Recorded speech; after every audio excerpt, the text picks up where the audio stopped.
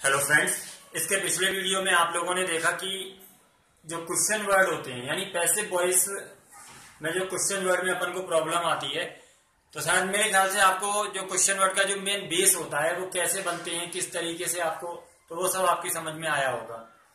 Basically मैंने बताया था कि केवल तीन क्वेश्चन ऐसे हैं, यानी एक तो वो जो सब्जेक्ट का काम करता है, और एक वो जो डायरेक्ट ऑब्जेक्ट बनता है, और एक वो जो इनडायरेक्ट ऑब्जेक्ट बनता है।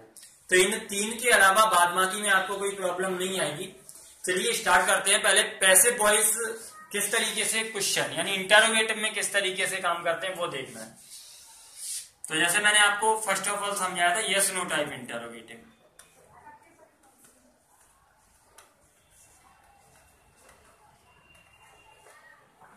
तो पहले अपन यस नो टाइप इंटरोगेटिव का पैसे वॉइस किस तरीके से बनाते हैं? मेरे ख्याल से ज़्यादातर लोगों को इस टाइप के इंटरोगेटिव में कोई प्रॉब्लम नहीं होगी। तो देखिए किस तरीके से आपने करना है। यहाँ आपको बेसिकली शायद पता होगा कि केवल इन्वर्जन करना होता है। जैसे।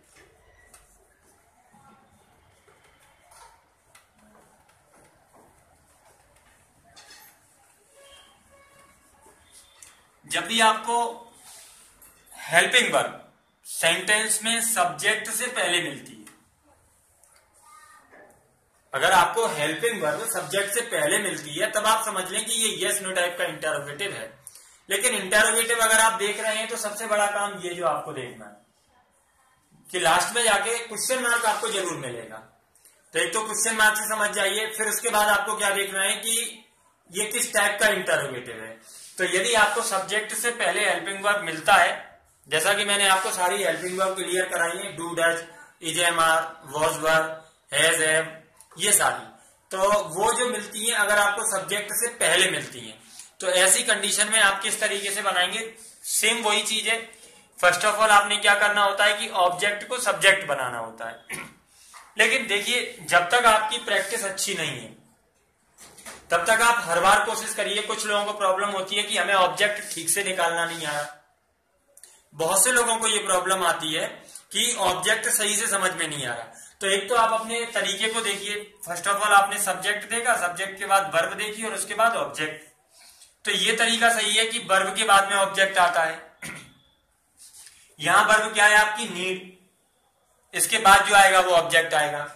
दूसरी चीज़ आपने क्या देखनी होती है कि अगर आप हाँ ऐसा हो जाता है कि कभी कभी वर्ब के बाद में कोई प्रीपोजिशन आता है तो ऐसी कंडीशन के लिए मैं आपको दूसरी बात बता रहा हूँ कि अगर आप इस वर्ब से प्रश्न करेंगे वही मैंने आपको बताया कि आपको तीन प्रश्न करने हैं। एक तो क्या और एक किसे।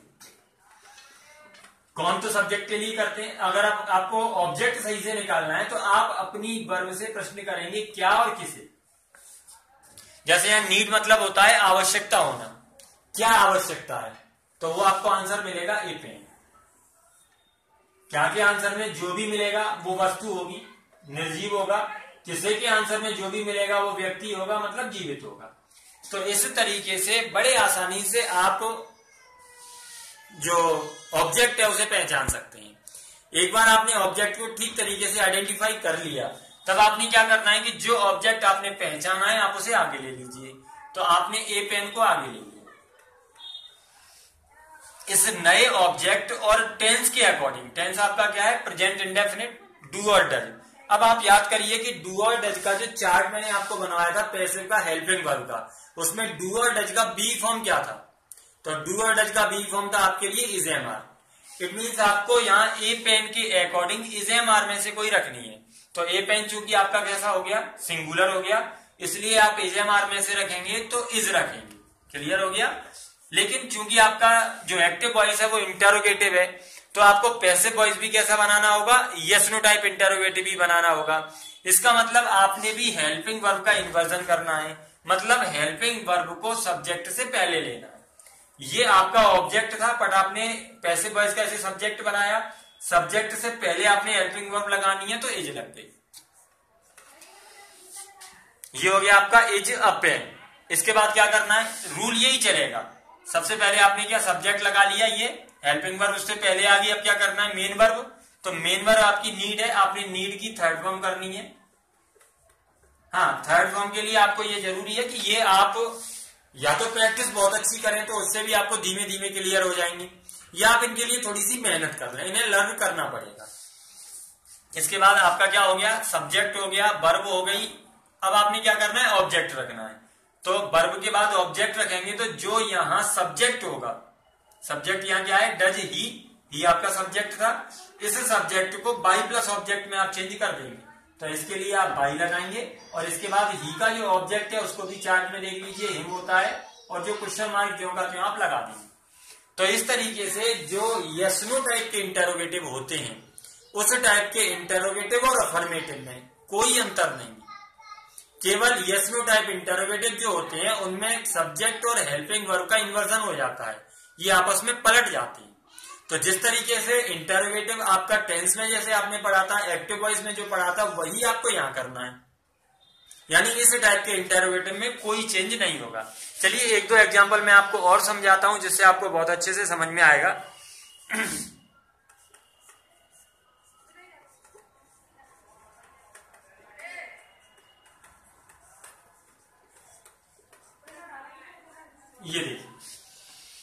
Is he writing a letter पहला काम आपने क्या करना है? क्वेश्चन मार्क दिख गया। फिर ये देखिए कि किस टाइप का है। हेल्पिंग वर्ब पहले है। यशनो टाइप हो गया। अब आपने देखना है कि ऑब्जेक्ट क्या है? तो अपनी जो वर्ब है राइट पहचान लिया बर्ब राइट है। राइट से आप प्रश्न किए। राइट मतलब लिखना। इससे आप प्रश्न करिए, क्या लिखा? जो आपको आंसर मिलेगा, क्या से नहीं मिले तो किसे करिए? ठीक है? दोनों में से किसी न किसी का आंसर आपको मिलेगा। तो क्या लिखा इसके आंसर में आपको मिला अ लेटर ये ऑब्जेक्ट हो गया। आपने इस ऑब्जेक्ट को आगे लेना है सब्जेक्ट बनाना है। यहाँ चूँकि नाउन होती है, मैंने बताया था तो उसमें कोई चेंज नहीं आता तो अलेटर का अलेटर ही आएगा। इस नए सब्जेक्ट और इस टेंस के अकॉर्डिंग आपने हेल्पिंग वर्ब लगानी है। नया सब्जेक्ट सिंगुलर है और हेल्पिंग वर्ब आपकी क्या है? इज़ अब आप अपने चार्ट में जाके देखिए कि इज़ का मैंने जब पैसे वॉइस में बी फॉर्म लिखाया था, तब क्या लिखाया था? Is being am being are being एक बात यहाँ और समझने वाली है। देखिए, जो मेरा लिखाने का तरीका है, वो ये था। Is am are plus be. ये जो प्लस करके लिखा जाता है, इसका ऐसा नहीं है कि ये कोई सेशन का काम है। ऐसा नहीं है। प्लस बी का मतलब होता है कि जब भी आपने नोट भी अगर लगानी है, तब आप नोट कहाँ लेंगे? इस प्लस वाले प्लेस पे आपने नोट लेनी है। इज़ नोट बींग होगा? एम नोट बींग होगा? आर नोट बींग होगा? या आपने अगर इन्वर्जन करना है, तब आपने क्या करना है कि आप इज़ एम आर को आगे लेंगे बींग अपने प्लेस पे बना रहेगा तो ये प्लस लगाने का ये तरीका होता है कि ये आपकी जो मेन हेल्पिंग वर्ब है और ये सपोर्टिंग वर्ब है। तो सपोर्टिंग वर्ब जिस जगह पे है, आप उसे उसी जगह पे रहने दीजिए। आगे पीछे करने का काम है तो केवल किसको करिए? मेन को, यानी इज़ एम आर को। तो इन्वर्जन अगर आप करेंगे तो किसका करेंगे? इज़ एम आर का, न कि बीम का। ये गलती नहीं करते कि आप पूरा का पूरा। देखिए, जैसे सामान्य बात में क्या होता है कि ए लेटर के बाद अफर्मेटिव में, हम क्या करते हैं कि ए लेटर के बाद पूरा का पूरा इज़ बींग आता है। समझिए अफर्मेटिव में हम क्या करते हैं कि इज़ बींग यहाँ लगाते अगर अफर्मेटिव होता तो बट इंटेरोगेटिव है, आपने इन्वर्जन करना है, तब आप ऐसा नहीं कर सकते कि इज़ बींग को पूरा उठाकर आगे ले आए। ठीक है, मैं छोटी छोटी बातों को भी आपको इसलिए क्लियर करा रहा हूँ कि कभी आपके दिमाग में कोई कंफ्यूजन नहीं आए। तो वो मैंने आपको बताया कि हमने किस तरीके से लिखाया है इज़ एम प्लस बी अब आपकी समझ में आएगा कि इस प्लस का कितना काम है। इस प्लस का ये काम है कि आप इससे पहले जो ये रखिए इज़ एम इन तीनों का इन्वर्जन कर सकते हैं। तो आपने इज़ को आगे लेना है, ये हो गया। तो इज़ अ लेटर बी अभी आपका क्या लग गया? सब्जेक्ट लग गया और हेल्पिंग वर्ब लग गई। सब्जेक्ट और हेल्पिंग वर्ब के बाद आपने क्या लगाना है? मेन वर्ब मेन वर्ब आपके पास क्या है? राइट राइट का आप क्या करेंगे? थर्ड लिखेंगे। तो राइट का थर्ड रिटर्न होता है। चलिए। इसके बाद आपने क्या करना है कि जो आपके पास सब्जेक्ट होगा, आप उस सब्जेक्ट को बाई प्लस ऑब्जेक्ट में बदल देंगे। सब्जेक्ट आपके पास क्या है? ही आप इसे क्या करेंगे? बाई और ही का ऑब्जेक्ट आप फिर से चार्ट में देखिए, क्या लिखा जाता है? हिम तो वो हो जाएगा बाई इस तरीके से मुझे नहीं लगता कि आपको कोई प्रॉब्लम आई। हाँ ये जो हेल्पिंग वर्क का मैंने बताया प्लस वाला जो तरीका, ये आप सब में देखिए। जैसे हैज़ और एम में लिखाया, मैंने हैज़ हैव प्लस डी तो वहाँ भी आपने इन्वर्जन करना है नोट लेना है, वो प्लस की जगह से करना है। प्लस से पहले पहले का जो है, उसका इन्वर्जन कर लीजिए। नॉट भी लगाना है तो has not been have not been ठीक इसी तरीके से बीन वर्बिंग में भी करना है। ठीक इसी तरीके से आपने हेड में भी करना है। विल बी और सेल बी में भी आपने will oblique shall plus be लिखाया है। ठीक है? तो वो जो चीज़ है, वो आपको देखते चलनी है कि किस तरीके से आप इसमें प्लस का यूज़ कर रहे हैं।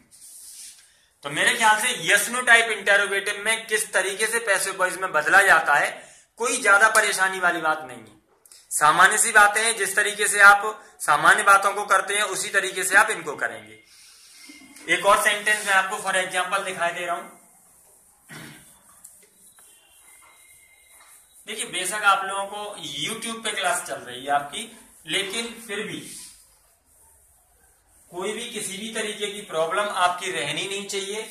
आपका ये मेन चैनल है, आप इसे, यानी आपको कोई फिर दूसरा डेस्क्रिप्शन में भी देखिए। आपको डेस्क्रिप्शन में आपको सारी चीज़ें मिलेगी। मेरा उद्देश्य केवल आपका एक सिलेक्शन होना है। किसी भी तरीके से कोई भी छोटी मोटी चीज़ है वो आपसे छूटनी नहीं चाहिए। इस वजह से बिल्कुल शुरू से लेके बताया जाता है। चलिए एक सेंटेंस और देख लीजिए, उससे आपको और अच्छा लगेगा। जैसे,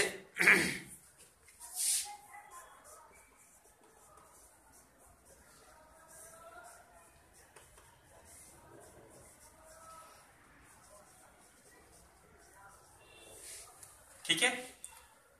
फ़र्स्ट ऑफ़ ऑल आपने मैंने बताया क्या देखना है? क्वेश्चन मार्क इंटेरोगेटिव हो गया कैसे है? हेल्पिंग वर्ब पहले आई है यस नो टाइप हो गया। क्वेश्चन करिए अपनी वर्ब से प्ले खेलना, क्या खेला? अ मैच आप इसे आगे ले लीजिए।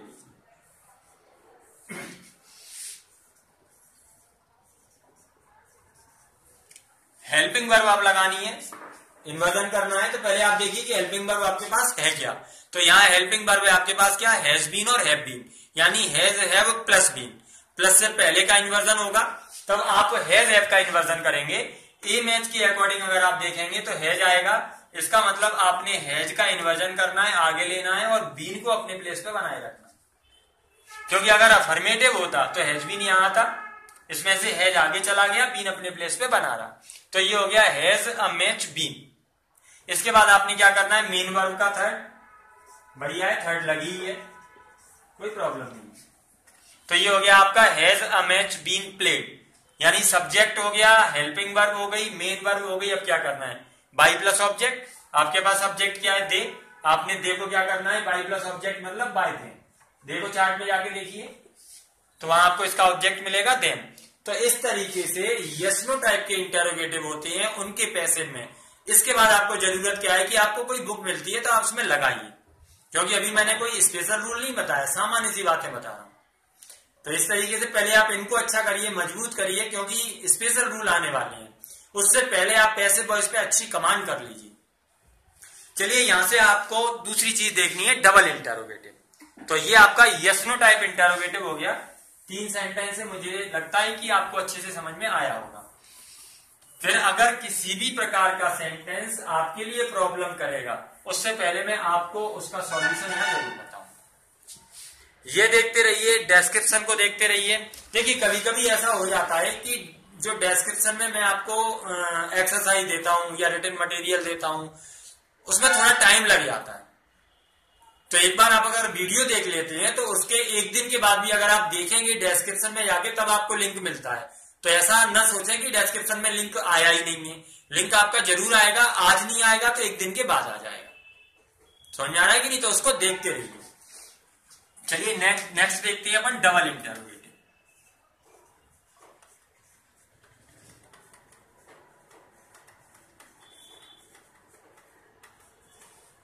डबल इंटरोगेटिव कह लें, या कुछ लोग इनको इंटरोगेटिव विद क्वेश्चन वर्ड भी कहते हैं। किसी भी तरीके के नाम से लें, यानी ये वो इंटरोगेटिव होंगे जिनमें क्वेश्चन वर्ड सबसे पहले आपको मिलेगा। अभी क्या मिल रहा था? हेल्पिंग अब आपने क्या मिलना है कि क्वेश्चन वर्ड आपको सबसे पहले मिलेगा। इनमें भी मैंने जैसे आपको पता है कि पिछले वीडियो में मैंने आपको बताया था कि जो प्रॉब्लम वाली बात है वो केवल तीन में आती है। तीन कौन कौन से? एक तो वो क्वेश्चन वर्ड जो सब्जेक्ट का काम करता है, एक वो क्वेश्चन वर्ड जो ऑब्जेक्ट का काम करता है, कौन सा? डायरेक्ट ऑब्जेक्ट और एक वो क्वेश्चन वर्ड जो इनडायरेक्ट ऑब्जेक्ट का काम करता है। पहले इन तीन में प्रॉब्लम आनी है तो क्यों नहीं हम पहले इन तीन को ही देख लें? बाद बाकी की चीज़ें इजी हैं। तो इन्हें अच्छे से देख लेंगे तो वो ऑटोमेटिकली सॉल्व हो जाएँगे। ठीक है? चलिए। तो यहाँ शायद आप लोगों को पता होगा फ़र्स्ट ऑफ़ ऑल मैं उठा रहा हूँ आपका वॉट वॉट इसलिए उठाया जा रहा है क्योंकि पैसिव वॉइस में क्या करना होता है कि ऑब्जेक्ट को सब्जेक्ट बनाना होता है। ठीक है? और ये ऑब्जेक्ट का ही काम करेगा।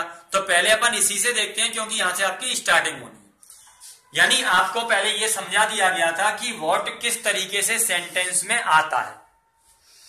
चलिए, आज मैं आपके लिए एक और सेंटेंस दे रहा हूँ।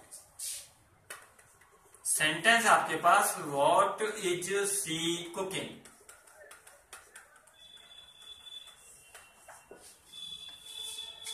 ठीक है? इसमें पहले ये कोशिश करिए कि ये जो चीज़ आई है, ये क्वेश्चन वर्ड जो आया है वॉट जो आया है, ये कैसे आया है? पहले इस पर दिमाग लगाइए। अगर आपने एक दिन, दो दिन इस पर थोड़ा सा टाइम खर्च कर लिया तो विश्वास मानिए आपके पैसे बॉयज़ में कोई प्रॉब्लम नहीं आनी। पैसे बॉयज़ इंग्लिश का काफ़ी इजी चैप्टर है। लेकिन कुछ लोगों को यह परेशान करता है केवल इसी की वजह से। दो या तीन क्वेश्चन वर्ड हैं जिनकी वजह से आपको प्रॉब्लम करता है। सबसे पहले मैंने बताया कि आपको क्या देखना है कि ये आया किस तरीके से यानी सेंटेंस में क्या हुआ होगा कि जिसकी वजह से ये आया है। तो उसके लिए मैं आपको बता दूँ सेंटेंस था आपका, इसको अलग करिए, पहले आप इसे देखिए।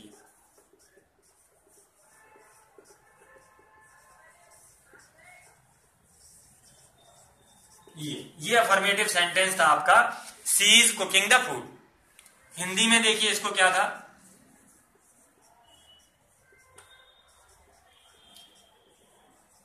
वह खाना पका रही है। ये था मैंने आपको दिया कि इस सेंटेंस को आप हिंदी में इंटेरोगेटिव बना दीजिए क्या? से कुछ लोग बड़ी जल्दी में उत्तर दे देंगे, बन गया लोग, क्या वह खाना पका रही है। लेकिन ये क्या से क्यों नहीं हुआ? क्योंकि जब आप इसे इंटेरोगेटिव बनाएँगे, तब आप क्या करेंगे, इसको इंग्लिश में ट्रांसलेट करेंगे तो इसके लिए तो हेल्पिंग वर्ब पहले लगा देंगे। इज़ सी कुकिंग ये लगा देंगे। तो यहाँ तो कहीं भी इस वर्ड का यूज़ ही नहीं हुआ। मैं क्या कह रहा हूँ कि इस सेंटेंस को इंटरोगेटिव बनाइए वर्ड से। तो ये सही आंसर नहीं हुआ जो आपने बनाया। ये तो इसका यस नो टाइप इंटेरोगेटिव बना दिया आपने। तो आपको जब इसको वर्ड से इंटेरोगेटिव बनाना है, तब आपने क्या करना होगा? पहले इसकी वर्ब से पूछना होगा, क्या? जो आंसर मिलेगा, आप उसे हटाकर उसकी जगह पे इसे रखेंगे। इसका वर्ब से आप प्रश्न करिए क्या पका रही है। आपको आंसर मिलेगा खाना। आपने इस खाना को हटाना है और उसकी जगह पे क्या लगाना खाना क्या था? सेंटेंस का, ये ऑब्जेक्ट था। यानी ऑब्जेक्ट को हटा करके उसकी जगह पे क्या लगता है? तब आपका जो सेंटेंस हो जाएगा, वो क्या हो जाएगा? वह क्या पका रही है।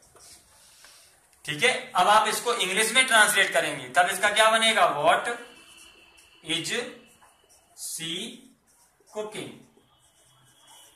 ये बनेगा, यही तो वो बात है। इससे आपको ये समझना है कि सेंटेंस में वॉट जब आता है तो किस तरीके से आता है? तो पहले तो जो वॉट के बारे में जो थोड़ी दो एक बातें हैं, कि जब हम वॉट का यूज़ करते हैं तो पहली बात तो इसका यूज़ निर्जीव के लिए किया जाता है। ये बात आपको अच्छे से याद रखनी है कि आपने वॉट का यूज़ करना है तो वॉट का यूज़ किया जाता है निर्जीव नाउन के लिए। बात आ रही समझ में? दूसरी बात, वॉट का यूज़ अगर हम जीवित के लिए करते हैं, यानी वॉट का यूज़ अगर हम व्यक्ति के लिए करते हैं तो ऐसी कंडीशन में भी व्यक्ति का या तो पद या पेशा बताया जाता है, न कि व्यक्ति के लिए। तो ये तीन बातें आपको वॉट से संबंध में बहुत अच्छे से दिमाग में रखनी है। कि फ़र्स्ट ऑफ़ ऑल तो ये कि वॉट का यूज़ जो किया जाता है, वो निर्जीव के लिए किया जाता है। पहली बात, जैसे यहाँ खाने के लिए हुआ। दूसरी बात आपको ये करनी है कि जब वॉट का यूज़ व्यक्ति के लिए किया जाता है, जैसे आपने कहा कि वॉट इज़ ही ये। इसका मतलब क्या है? वह क्या है? इसका मतलब आपने उससे क्या पूछा कि आपने उसका पद या उसकी पोस्ट पूछी। वॉट आर यू ये। समझ में आया कि नहीं? तो इसका मतलब आप ये पूछ रहे हैं कि आप क्या हो? आपका पद क्या है? बात आ रही समझ में? तो इस तरीके से पहले आपने ये समझना है कि वॉट होता क्या है? तो वॉट का यूज़ निर्जीव के लिए किया जाता है, निर्जीव नाउन के लिए। दूसरा, अगर व्यक्ति के लिए भी किया जाता है तो ऐसी कंडीशन में इससे या तो पद या पेशा बताया जाता है। तो इस तरीके से मेरे ख्याल से आपको समझ में आ गया होगा कि वॉट सेंटेंस में ऑब्जेक्ट होता है। अब जब आप इसका पैसिव बनाएँगे इतना पूरा हटा देता हूँ, क्योंकि आपकी समझ में आ गया होगा कि वॉट किस तरीके से आता है। तो एक तो ये दिमाग में अच्छे से बैठा लीजिए कि जब वॉट सेंटेंस में आया है तो ये ऑब्जेक्ट के रूप में आया है। ये।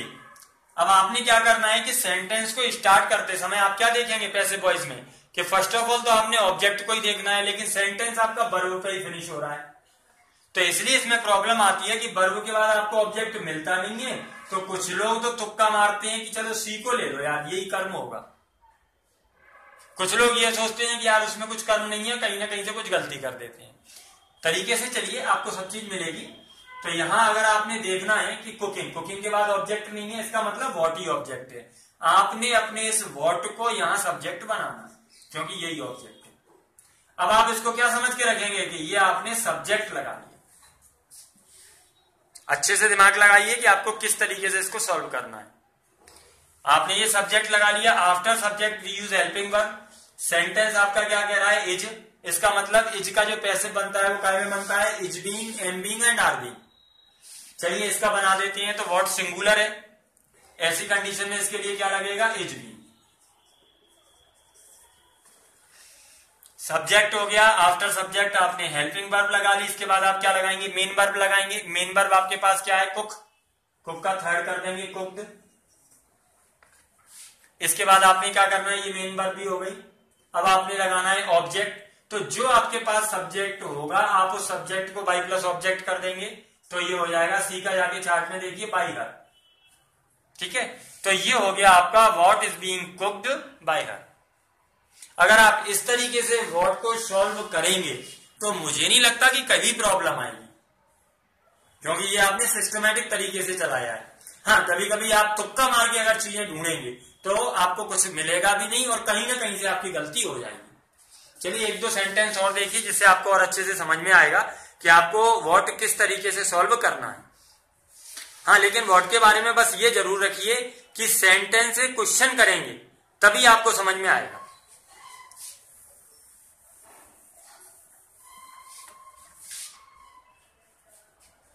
सेंटेंस है आपका। वह मुझे हिंदी पढ़ाता। है ठीक है? मैंने आपको बोला कि आप इसे इंटरोगेटिव करिए क्या से? पढ़ाना से पूछिए, क्या पढ़ाता है आपको उत्तर मिला हिंदी? आप हिंदी की जगह पे क्या लगा दीजिए? आंसर क्या बनेगा? वह मुझे क्या पढ़ाता है? इसमें पढ़ाना से दूसरी चीज़ पूछिए, किसे पढ़ाता है तो उत्तर क्या मिलेगा मुझे? ये भी ऑब्जेक्ट है। डबल ऑब्जेक्ट है सेंटेंस में। मैंने क्या बताया था कि सेंटेंस में डबल ऑब्जेक्ट भी होता है। डबल ऑब्जेक्ट अगर होता है तो ये जो निर्जीव कर्म है, इसको आप बोलते हैं डायरेक्ट ऑब्जेक्ट ये जीवित कर्म है, इसको बोलते हैं आप इनडायरेक्ट ऑब्जेक्ट ठीक है? तो इसमें इनडायरेक्ट ऑब्जेक्ट मुझे है और जो डायरेक्ट ऑब्जेक्ट है वो क्या है? अब आपसे कहा गया कि आप इसको इंग्लिश में ट्रांसलेट करिए। आपने इसे इंग्लिश में ट्रांसलेट किया तो क्या बनेगा? पढ़ाता है प्रेजेंट इंडेफिनेट है वॉट इसके अकॉर्डिंग सब्जेक्ट आपका वह है। प्रेजेंट इंडेफिनेट में ई के अकॉर्डिंग अगर आप बर्ब लगाएँगे तो डू और डज में से डज लगेगी तो डज लगा। इसके बाद आपने क्या करना है? सब्जेक्ट लगाना है तो वो ही हो गया। इसके बाद आपने क्या करना है? मेन वर्ब लगाना है तो पढ़ाना हो गया टीच इसके बाद आपने क्या करना है? ऑब्जेक्ट लगाना है तो वो मुझे क्या पढ़ाता है? इसका उत्तर तो, तो वो आ ही गया एक ऑब्जेक्ट तो आगे ही आ गया। दूसरा किसे पढ़ाता है मुझे? तो दूसरा है तो ये पीछे जाएगा जैसा कि मैंने एक्टिव वॉइस यानी टाइम एंड टेंस में बताया था कि जब जीवित कर्म को या आप ये समझ लें इनडायरेक्ट ऑब्जेक्ट वर्ब के तुरंत बाद रखा जाता है। तो ऐसी स्थिति में उसके लिए टू लगाने की आवश्यकता नहीं होती। एक्टिव वॉइस लेकिन जब इसी चीज़ को पैसे वॉइस में किया जाता है, तब आपको यहाँ इसके लिए टू लगाने की आवश्यकता होती है। अब आप इसको पैसे में बदलिए। तो पहले तो आपको यह समझ में आना चाहिए कि ये जो वॉट आया, वो क्या हुआ? डायरेक्ट ऑब्जेक्ट है। चलो मैं अब इस सबको हटा देता हूँ। सेंटेंस डायरेक्ट आपको ये मिलता है ऐसे मैंने समझा दिया, आपकी समझ में आ गया। डायरेक्ट ये मिलता है तो आपको थोड़ा सा कंफ्यूजन हो जाता है, यार, ये नहीं समझ में आ रहा। तो इसको समझिए, पहले आपने क्या करना है पैसे में कि ऑब्जेक्ट को सब्जेक्ट बनाना है। आपने क्या किया, आपको यहाँ गलती क्या करते हैं मी मिला, आपने मी को आगे ले लिया। और वॉट आगे है? बस हो गई गलती स्टार्ट दोनों कर्म आप आगे लेकर के किसको करता बनाएँगे? दोनों ऑब्जेक्ट तो आगे आ नहीं सकते। अब वॉट क्वेश्चन वर्ड है, ये पीछे जाएगा नहीं। तब आपने क्या करना है कि आपने उसको नहीं लेना था, आपको वॉट से ही सेंटेंस को बनाना था। तब आप चलिए वॉट से बनाइए। लेकिन ये आपके लिए ऑब्जेक्ट अब क्या हो गया सब्जेक्ट बस ये समझ के रखिए, जिसने भी ये सोच के रखा है, उसकी गलती नहीं होगी। जिसने ये सोच के रखा है, रखना यही है। लेकिन बस केवल आपकी सोच का फ़र्क है। अगर आपने इसे क्वेश्चन वर्ड सोच के रखा है तो गलती होगी। अगर आपने इसे सब्जेक्ट सोच के रखा है तो गलती नहीं होगी। वॉट हो गया, इसके बाद आप हेल्पिंग वर्ब लगाएँगे, डज लगाए, इसका पैसे मार में बनेगा इज़ ठीक है? वॉट सिंगुलर होता है। टीच के बाद आप क्या करेंगे? थर्ड लगाएँगे टीच का तो क्या हो जाएगा? टॉट मैंने बताया कि अगर जीवित कर्म इनडायरेक्ट ऑब्जेक्ट को पैसे वॉइस में क्रिया के बाद रखना है, तब आपने उसके लिए टू का यूज़ करना है।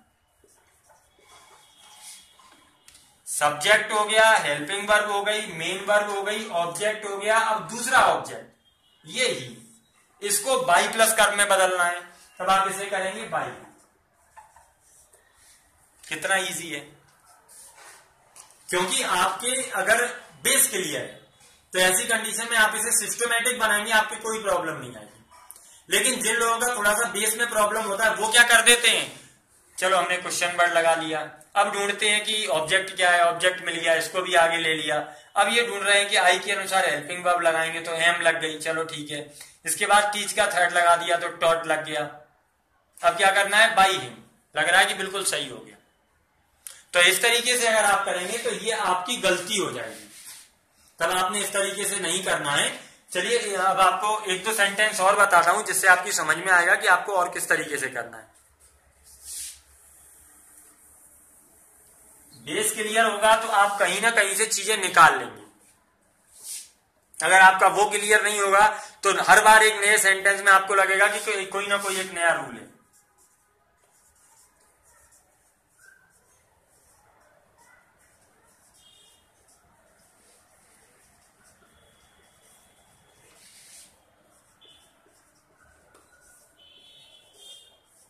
What does Sita do to make you so angry पहले सेंटेंस को अच्छे से पढ़िए। एक्टिव वॉइस में सारी चीज़ें पहचानिए क्या क्या लगा है। वॉट क्वेश्चन वर्ड है। ऑब्जेक्ट है। हेल्पिंग वर्ब है। सब्जेक्ट है। मेन वर्ब प्लस इंफिनिटिव लगा हुआ है। डू टू मेक ठीक है? यानी जब दूसरी क्रिया लगाई जाती है तो उसे पहली क्रिया के बाद इंफिनिटिव के रूप में रखते हैं। तो ये टू प्लस वी वन हो गया। टू मेक ये मेन वर्ब है। इसके बाद ये आपका ऑब्जेक्ट हो गया और ये अदर वर्ड्स हो गए ठीक है? अब आपने क्या करना है कि सबसे पहले आपने ऑब्जेक्ट को सब्जेक्ट बनाना है, बना लो। वॉट मेन वर्ब आपकी क्या है? डज सॉरी हेल्पिंग वर्ब इसके अकॉर्डिंग आप पैसे बनाएँगे तो डू और डज का पैसे मार में बनता है इज़ हो गया। आपको चीज़ें उससे जो चाहिए आप मांगिए। ये नहीं कि सेंटेंस जो दे रहा है आपने। आपको सबसे पहले ऑब्जेक्ट चाहिए था, आपने मांग लिया, हो गया। हेल्पिंग वर्ब चाहिए, मांग ली, बता दिया। इसके बाद आपने क्या चाहिए? सब्जेक्ट हो गया मेन वर्ब चाहिए। मेन वर्ब देखिए मेन वर्ब क्या है? डू आपने इसका थर्ड लगाना है। डन मेन वर्ब भी आपके क्या चाहिए? कि जो इंफिनिटिव जिस तरीके से लगा होता है, आप उसे पैसिव वॉइस में भी वैसे ही लगा देंगे। तो टू में इसके बाद क्या चाहिए? अभी आपका सब्जेक्ट हो गया हेल्पिंग वर्ब हो गई मेन वर्ब हो गई। इसके बाद आपने क्या करना है? मेन वर्ब बाद ऑब्जेक्ट लगाया जाता है। ऑब्जेक्ट आपका जीवित आ रहा है। जीवित को पैसे बॉयज़ में टू लगा के रखते हैं, टू यू। इसके बाद जो ये यहाँ रखे हैं, वो ऐसे के ऐसे रखे सो एंग्री इसके बाद सब्जेक्ट को बाई प्लस ऑब्जेक्ट करेंगे तो बाई सब्जेक्ट आपका क्या था? सीता। तो ये आ गया सीता। तो ये हो गया what is done to make to you so angry by Sita. इसी तरीके से आपको एक एक करके सिस्टमेटिक चीज़ें चलानी है, जिससे आपको समझ में आए कि रियल में हो क्या रहा है। वॉट से संबंधित आपको अगर कोई प्रॉब्लम आती है तो आप ज़रूर कमेंट करिए। वैसे मुझे नहीं लगता कि अब आपको कोई प्रॉब्लम आएगी, लेकिन आप चीज़ें मतलब सेंटेंस से मांगिए। जैसे मैं मांग रहा हूँ, यानी सबसे पहले मुझे सेंटेंस से मांगना है कि मुझे क्वेश्चन मतलब ऑब्जेक्ट दीजिए। मैंने ऑब्जेक्ट मांगा वॉट हो गया। अब मैंने आपको मांगा है मतलब सेंटेंस आप मांगे कि हेल्पिंग वर्ब तो सेंटेंस की हेल्पिंग वर्ब आपको बताएगी कि ये लगाओ। हेल्पिंग वर्ब के बाद मुझे लगाना है मेन वर्ब तो आप सेंटेंस की मेन वर्ब से उसका थर्ड करिए।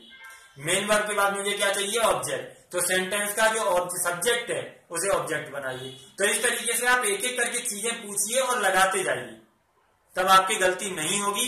हाँ अगर डायरेक्ट आप, क्योंकि अभी आपके पैसे इतने अच्छे नहीं है, तब आप डायरेक्ट मत करिए।